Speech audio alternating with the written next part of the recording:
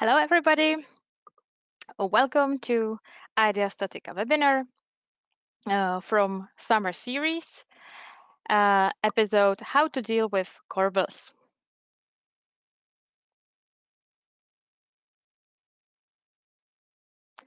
Today's presenter is only me, myself, Petra Komarkova. I work as product engineer in Idea Statica, and you can meet me at the conferences, at the webinars, or uh, on our help desk. Uh, today, uh, I will uh, be presenting alone, but I have a colleague who will assist me if uh, you have questions, so he will answer your questions. First, uh, organization stuff. We are using GoToWebinar application. You are um, all mute by default, but if you have any questions, do not hesitate to type them in to the question pane. And as I said, my colleague will answer them or maybe me if we have enough time. Uh, this webinar is from summer series, so uh, we keep it short and sweet. Uh, so let me um, introduce the agenda. Uh, first, uh, we we um, start to talking or about reinforced concrete corbels and brackets, uh, about uh, conservative design, about the methods uh, which are recommended in the codes. Then we switch to uh, Idea Statica detail application and demonstrate um, basic procedure how to uh, create a model, uh, how to deal with the reinforcement design, how to run the analysis, uh, how the checks are done, and uh, at the end, we're going to generate reports and drafts for the drawings. And after the end, uh, we're going to conclude, like uh, we can talk about the benefits uh, of this procedure. We can also talk about um, the the old way. So uh, RC corbels and brackets. So let me start with this um, very um, very known uh, picture. Uh, there are discontinuity regions which are called or marked as D in this picture, and so-called B regions, the yellow one. And Idea Statica detail application focuses on the D regions. Why? Because they are more complicated. You cannot uh, apply classical beam theory uh, because the Bernoulli-Navier hypothesis does not valid here. And we have special methods for uh, solving these regions. And today's webinar is about the corbels. So you can see that we have quite simple structure here, but there are plenty of the D regions, so we should really focus on them. What is the conservative uh, way or if you run into a, a corbel uh, in your project, um, what are the methods or what does the code say? So you can uh, uh, reach that there are several distributions uh, for the corbels, or we can also talk about the brackets. Depends on the literature, depends on the um, customs from uh, from the engineers. So you can have like very short uh, corbels, uh, then short corbels and a little bit longer. Depends on the span. It depends on the ratio of lever arm and the span. Uh, then we distinguish these short and longer columns. If it's too long, uh, then you should proceed according to uh, different uh, methods or different models, uh, models from frame joints. I, am still talking about the methods, but uh, there is a very, very known method behind this, and it's called Strut and Tie method. And here you can see that uh, it always depends on the geometry, uh, on the position of the loads, and based on these facts, you create the strut and tie models. If you want to capture a different behavior or different um, uh, failure of, of this region, you need to use a different model. So there's like plenty rules, plenty um, ways how to assess uh, the load bearing capacity, how to design the reinforcement. And there are uh, some limitations, like you cannot uh, verify the deformation capacity. You really don't know anything about the cracks. Uh, so um, that's why you can run into uh, problems. And what if I tell you that you can forget about these distributions, uh, short, long corbel, this strut and tie model for that, this for another type. And I would offer you a solution which is unique. You have one model, everything in uh, one application, and you can cover all the checks. So this uh, can be done in IDEA Statica detail via CSFM method.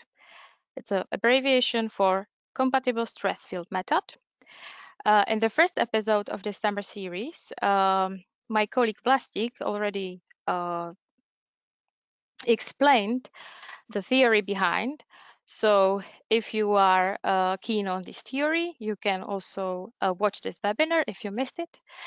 And today we're going to focus on the practical part only. So we have a global model in a FEA software. It's on the left side.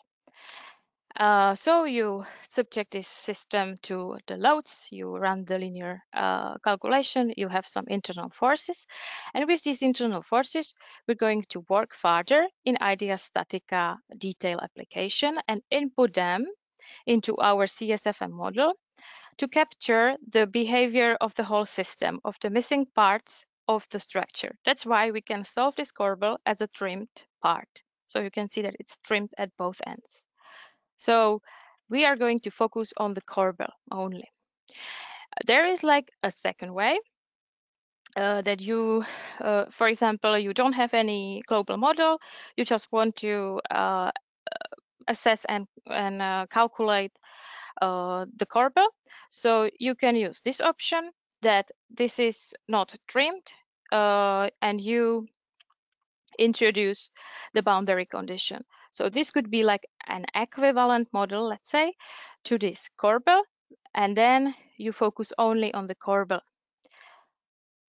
Uh, the advantage of this is that uh, you can uh, really focus on uh, on the corbel and you are introducing the action from the missing part.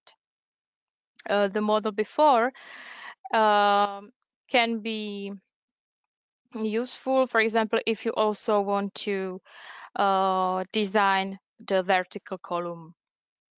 So you can model the actual uh, length of the column and deal with the anchorage uh, length of the reinforcing bars of the column. Okay, and then, uh, so after we create geometry, uh, we're going to stay a bit longer with the reinforcement design. And uh, the reason is that I would like to uh, explain uh, how to correctly input such a reinforcement, these loops, horizontal loops, how to deal with the shape of the reinforcement and how to uh, properly uh, define the special anchorage ends. So imagine you have something like this in reality, and uh, then there are some uh, procedures or ways how to do it in detail application. Okay, so I think now it's time to switch off my camera and uh, jump to IDEA Statica detail. So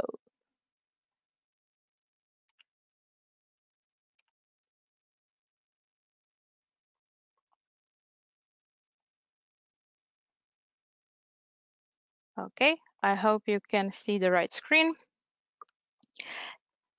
So we have uh, Idea Statica, uh, the home page, this one. We click on Concrete tab and choose the detail application.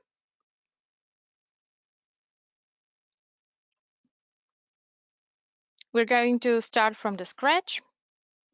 So uh, you can use this webinar as a tutorial also for uh, for the case that you need to uh, create a Corbel model. So I just clicked on uh, new. Uh, so I uh, I'm creating a new project.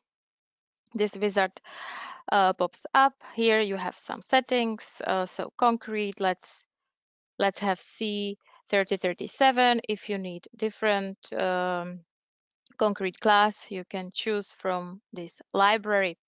Reinforcement B uh, 500B, concrete covered 25 millimeters. Uh, we can name this as Corbel and my name is Petra. Uh, so uh, you can choose. You can use templates or you can use general input. Uh, so what to choose if I want to design the corbel? So it is hidden here under the frame joints because it's actually it is actually a frame joint or the topology is like a frame joint. And here you can find uh, the column with bracket or, or column with two brackets. So I will choose this one. And in a second uh, or seconds, uh, there will be some geometry, reinforcement, and loads, and I will simply edit this template. Before I do any changes, I'm going to save this project.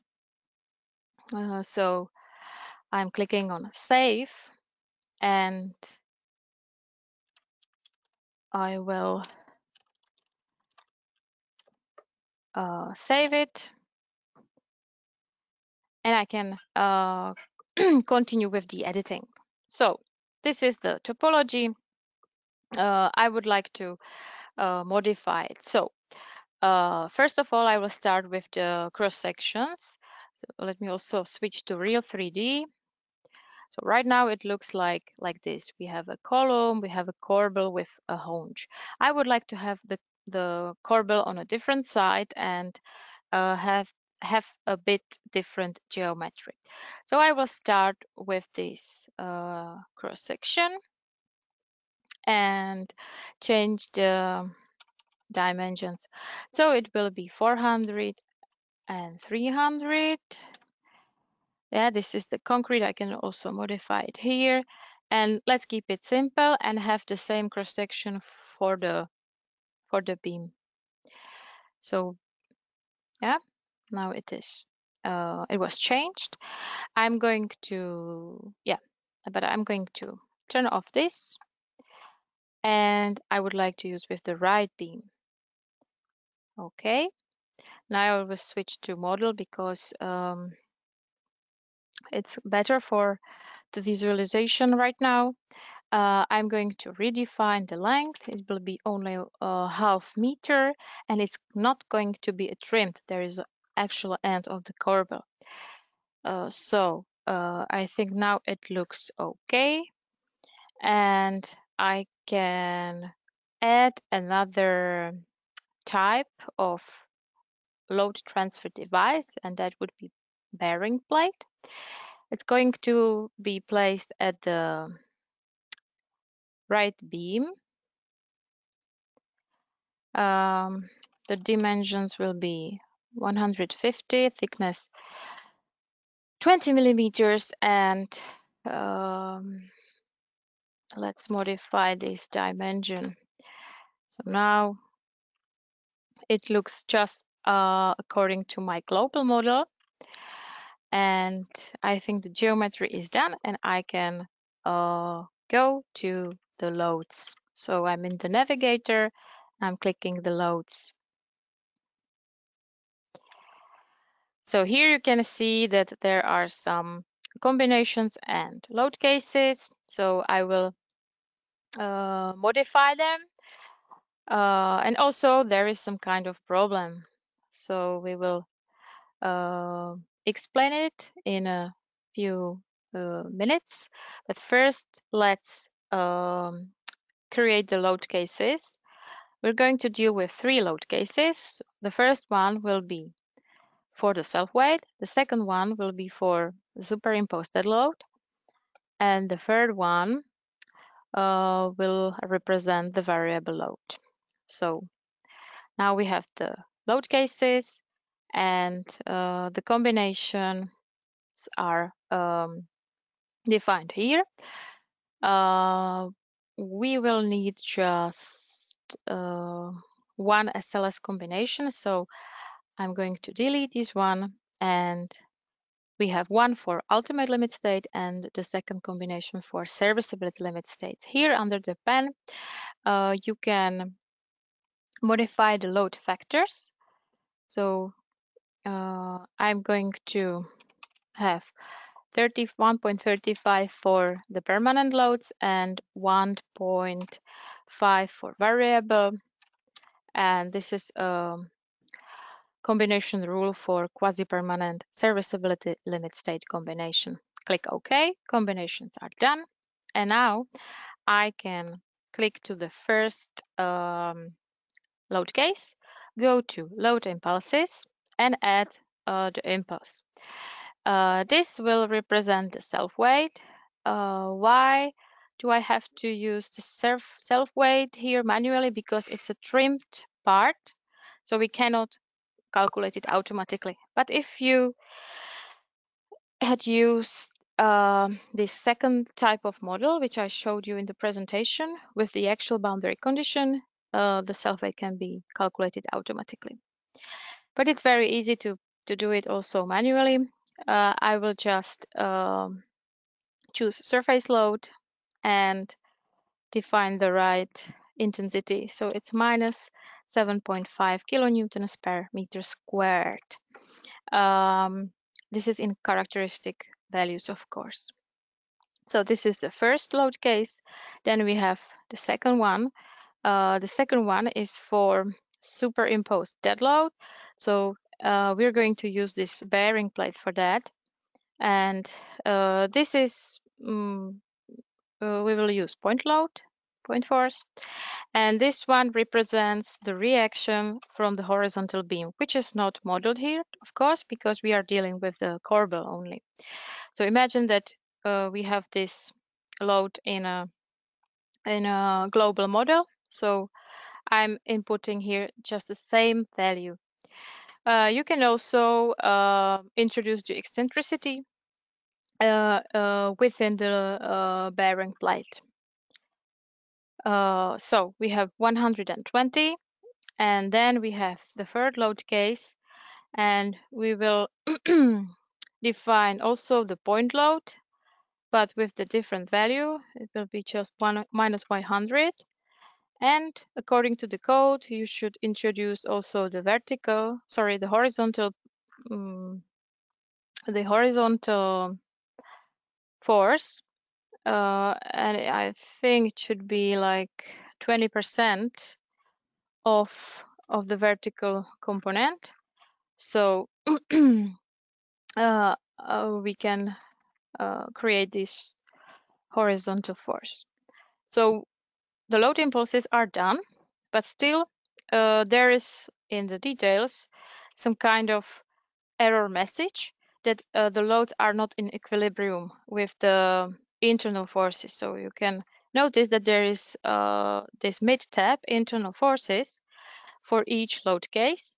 And if something is not correctly input inputted, um, in a red um, highlighted row and you need to adjust these forces uh, to get the whole system in a balance. So for example, if you know uh, our steel uh, steel application connection, this is like the same procedure that the the connection needs to be in a in a balance. So here, this uh, we are going to edit the forces in this uh, intersection in order to be in compliance with the acting load.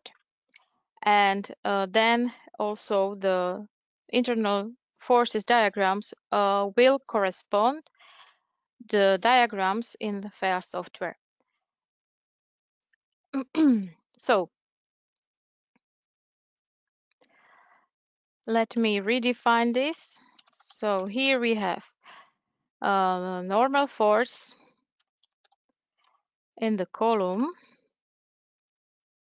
And here is zero.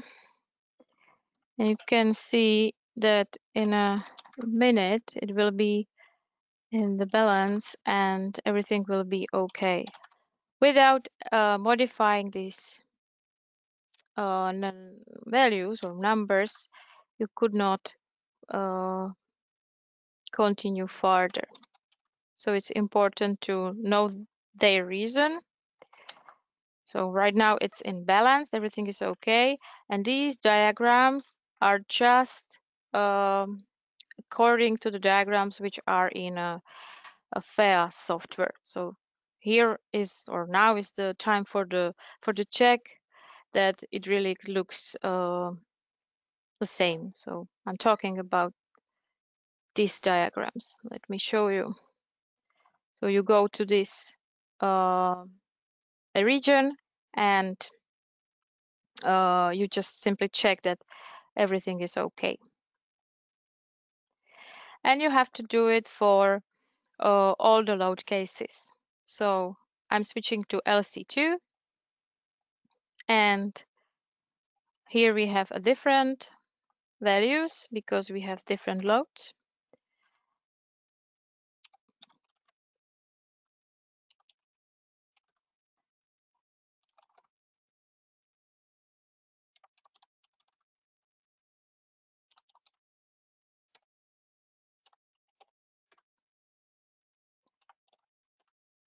Okay, and the last modification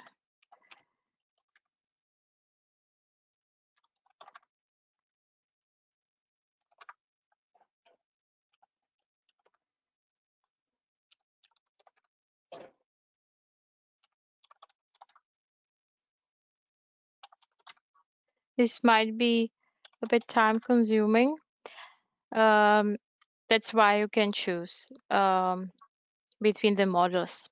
They are uh, like using this trim because every time you use this trimmed part, uh, you need to deal with these internal forces uh, because we simply need to um, calculate with uh, something because this is not um, enclosed system.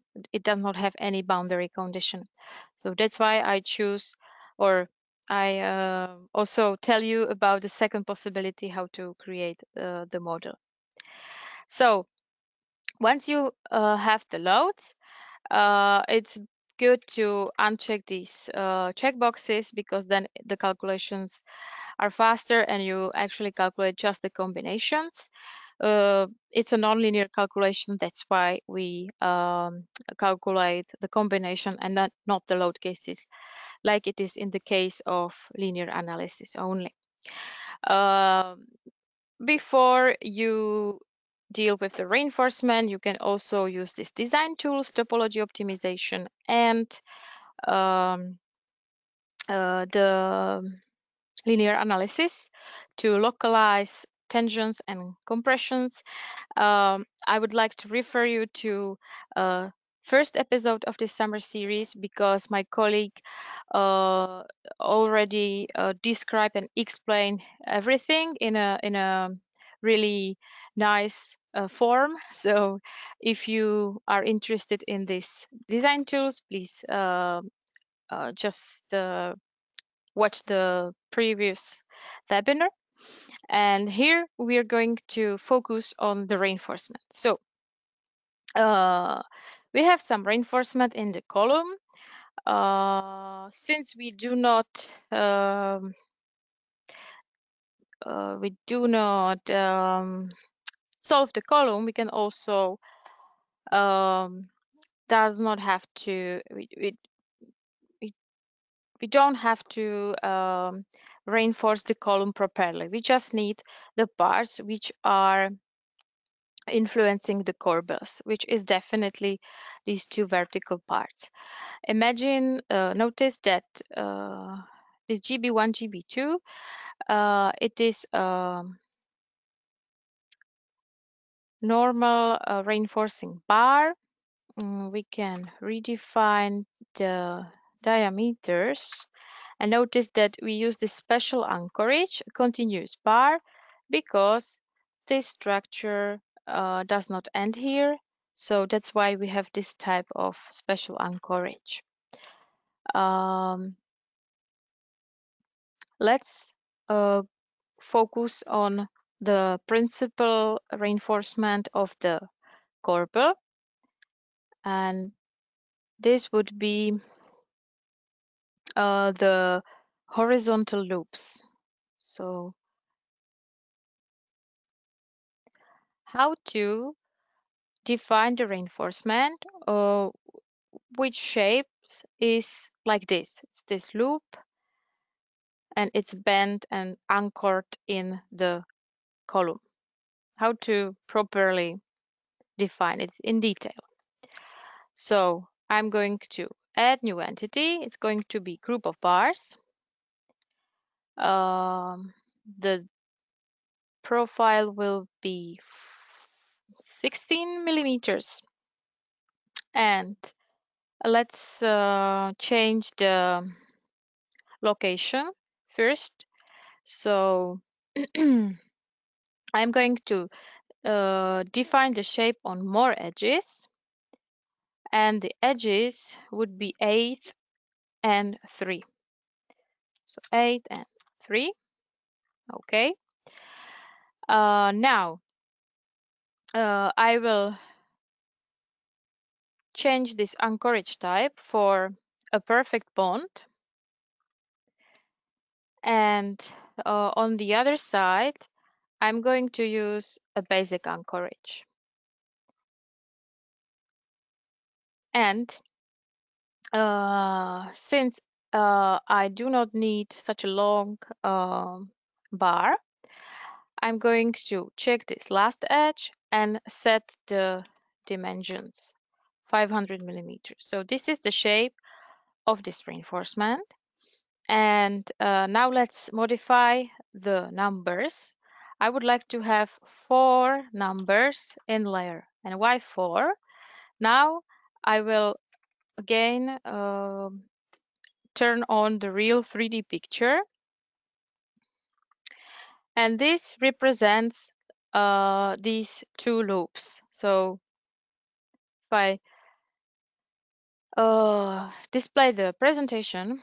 Uh, so we have this shape of uh, of the reinforcement, and this is represented by this.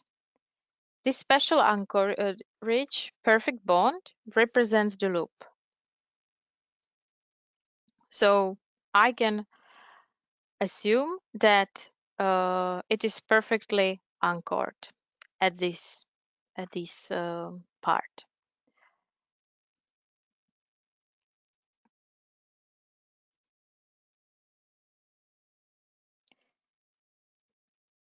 So let me switch to model and I will do one more modification. This uh, mandrel diameter uh, goes according to these uh, settings. If I click on this pen, I can modify it. I would like to have a, a, higher radius here because it is recommended in the code. and uh, yeah, the cover is according to the settings, 25 millimeters. And I would like to have like a different or second level layer. So I will copy this reinforcement and mm, I will keep everything the same.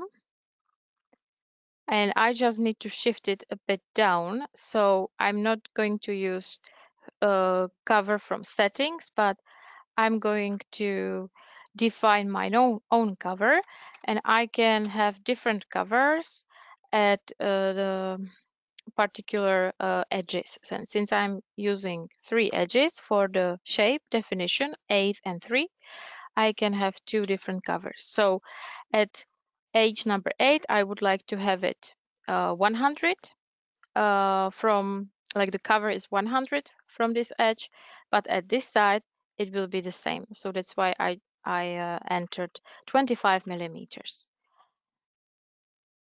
Okay, and then I'm going to add, uh, I'm going to add new entity. Uh, again, it will be group of bars. And this will be for the stirrups and how to define the stirrups. And these stirrups will be the vertical ones. So let's let's change the shape. So it will be at right beam. Uh, sorry, it will be on outline, right beam, and bottom. Uh, the anchorage will be perfect bond at both ends because it's a stirrup. So it goes like around, it's a horizontal stirrup and it goes around the corbel. So it's perfectly anchored. Uh, the diameter will be 8 millimeters and I will have only two uh, number of layers. If I switch to Real 3D, this represents the stirrups. Imagine that here we would have uh, it, it, like if it would be connected together. So this is stirrup and uh, I need four of them and 100 uh, distant from each other. I'm switching to 2D model and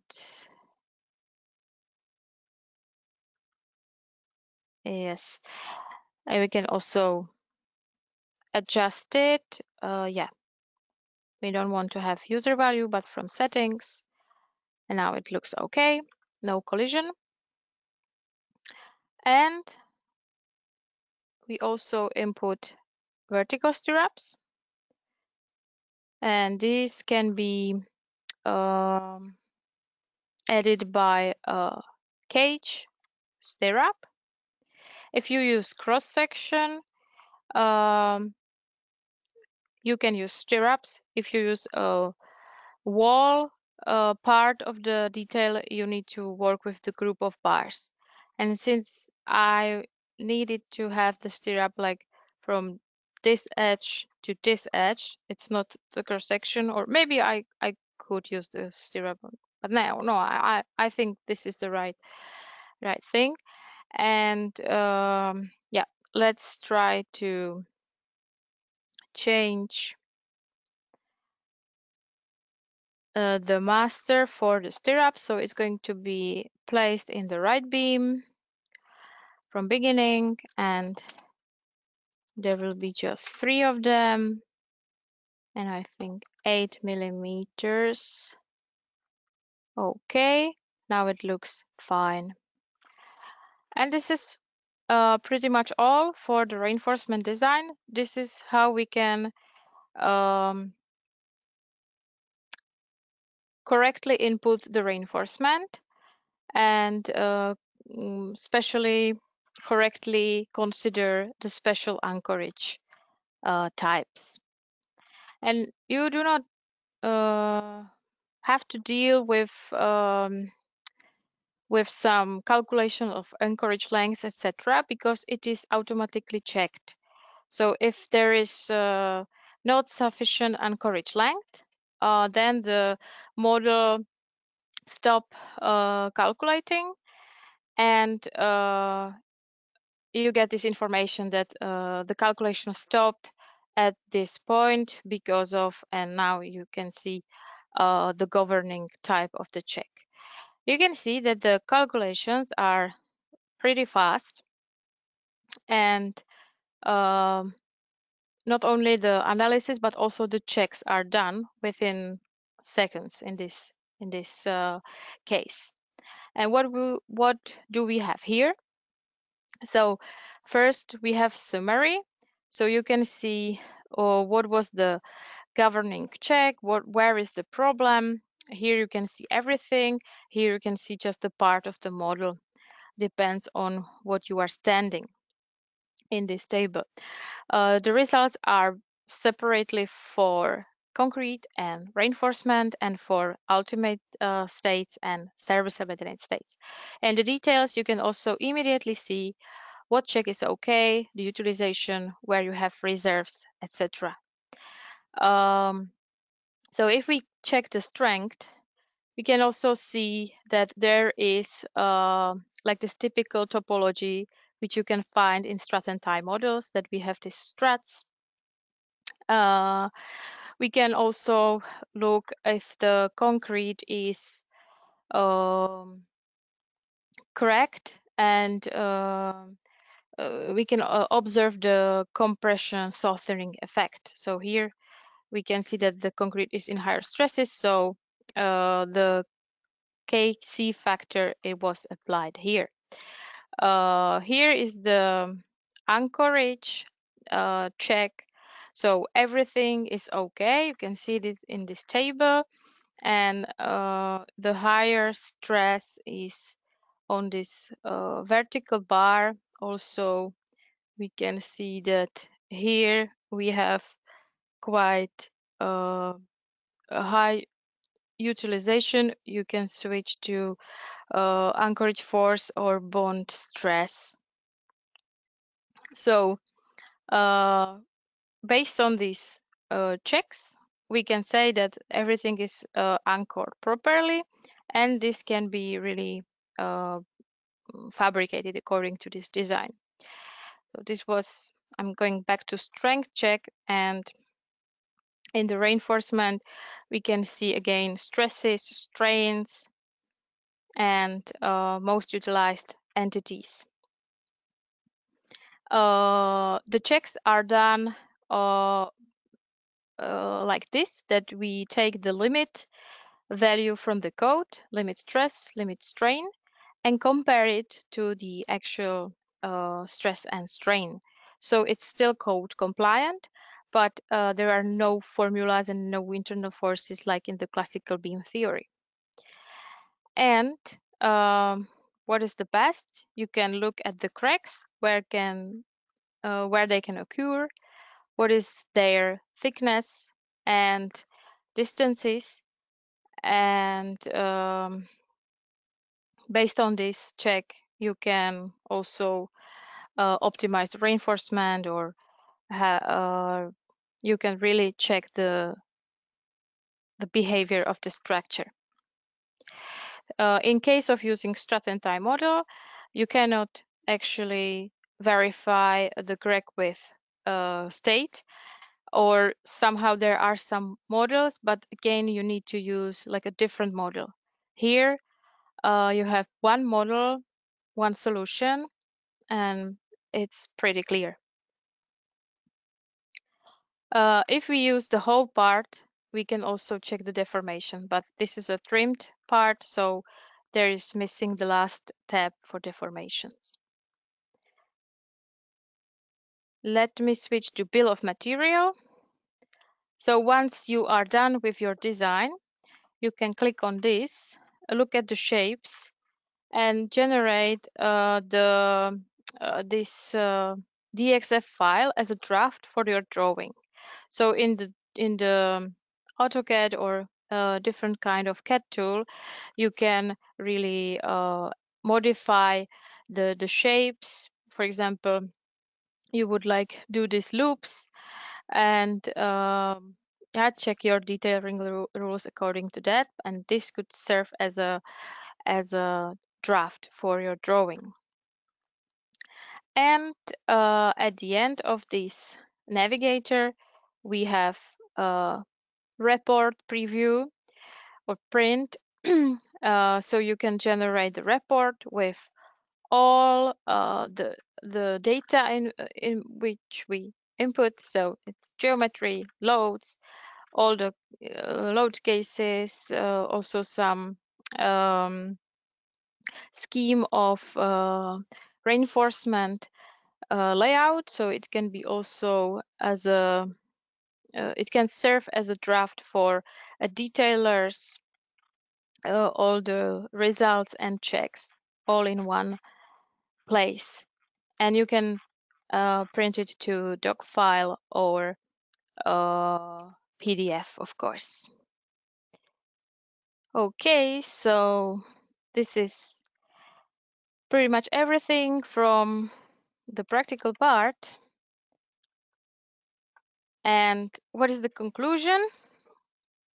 So uh, you can use the old way, like uh, create the Strut and tie models, uh, do the, uh, deal with the node areas, uh, calculate bunch of equations, uh, maybe establish or create another model to to check a different uh, type of failure.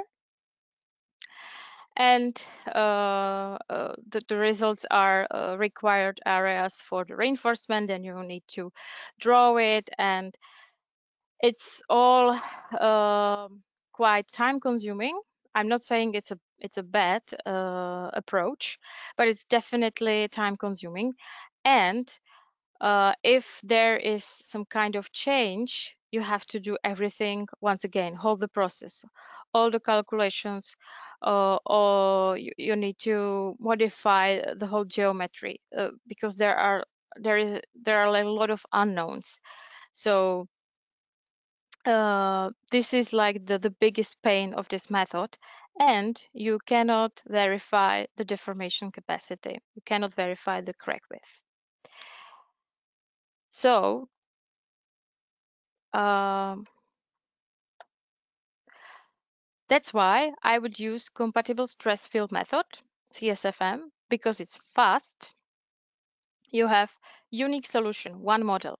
No more uh, several models, model for this failure, uh, the other one, etc. Uh, you have all checks in one application, both ultimate and limit and serviceability limit states. And you have the reports and drafts for the drawing. So I think this is the, the biggest benefit of this application IDEA StatiCa detail that you can deal with uh, corbels and uh, basic uh, discontinuity regions like corbel is, but also they can be very complex. The geometry can be really tricky. Uh, if it's too tricky or complex, then you don't have any recommended models for that in strut and tie. And we have also solution for pre-stressed discontinuity regions. Uh, so this is really huge topic because especially for corbels, when we, you need to uh, strengthen the existing corbels, the reinforcement is on its full capacity. So you need to add like uh, pre-stressing bars or strands. And then you need to, of course, uh, assess it. And for that, you can use IDEA StatiCa detail. But about this topic, uh, let's let's or let's leave this topic for another webinar. I promised you that it will be short, uh, so I'm not going to uh, keep you uh, any longer here. So uh, the questions will be answered via email, or maybe some of them were already uh, taken care by my colleague. Uh, what comes next? Um, you can look forward to seeing a third episode of summer series uh, on topic how to code check deep beams. So um, we're going to discuss uh, what is the border between deep beam and long beam. There will be also a few of the theory, and again, it will be focused on IDEA StatiCa detail. And if you uh, missed the first episode, uh, don't worry, it is recorded and it is available on our website. After the webinar, please short, uh, there is a short survey, so uh, we would appreciate your feedback if you like it or not. Um, uh, what is, there's always room for improvement. Uh, this recording will be also uh, placed in our support center and YouTube channel. And if you don't know IDEA StatiCa, get the trial and test it on your own. It was a pleasure for me to be with you, and uh, I wish you a pleasant day and calculate yesterday's estimates. Bye bye.